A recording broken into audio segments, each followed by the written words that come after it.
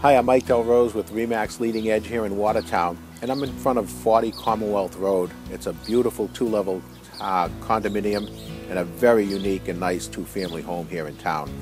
Uh, in the row of houses behind us is the Oakley Country Club. Down the street is the bus line to Harvard Square. It's a great home with beam living room ceilings and fireplace, beveled glass doors, built-in china cabinet. It's uh, got an updated kitchen. Uh, for 429 it's a great value in today's market.